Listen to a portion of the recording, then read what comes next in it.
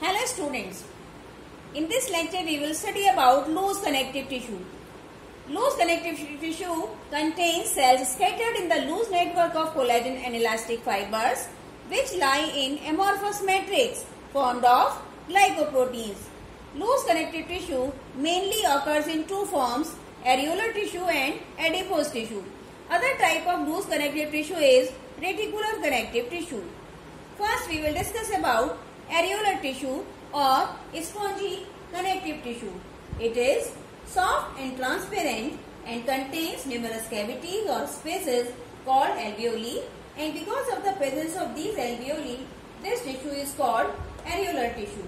Areolar tissue has semi-fluid ground substance or matrix and loose mesh of white collagen and yellow elastic fibers and various types of connective tissue cells like fibroblasts, macrophages, mast cells, plasma cells, lymphocytes and fat cells which we discussed in previous lecture.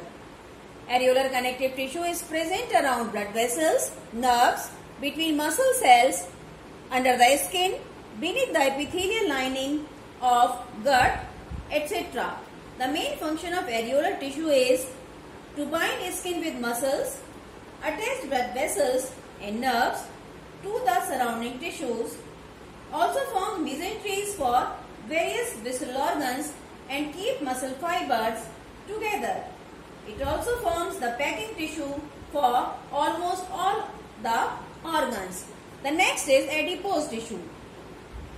It is modified form of loose connective tissue. Its matrix is packed with large spherical or oval fat cells or adipocytes. These store fat in the form of large fat globules which displace the cytoplasm and nucleus to one side. Adipose tissue is of two types. White adipose tissue which makes white or yellow fat. It contains large adipose, adipose cells each having single large fat globule and thus called monolocular. Cytoplasm in these cells is pushed to the periphery containing nucleus. The other type is brown adipose tissue or brown fat. It contains fat cells each with several small fat globules and hence called multilocular.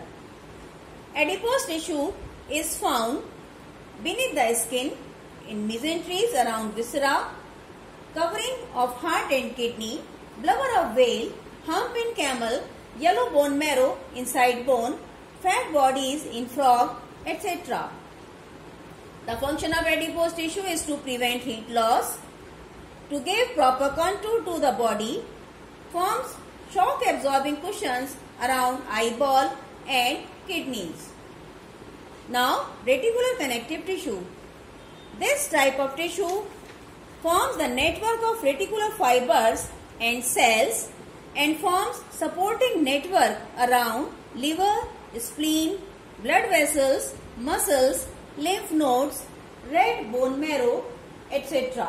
The main function is to form supporting stroma of organs. It also binds smooth muscle tissue cells and filters and removes worn out blood cells in spleen and microbes in lymph nodes.